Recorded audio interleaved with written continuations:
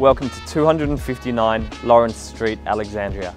This fantastic home is situated in this quiet cul-de-sac, ready to move straight into or capitalise on the DA approved plans.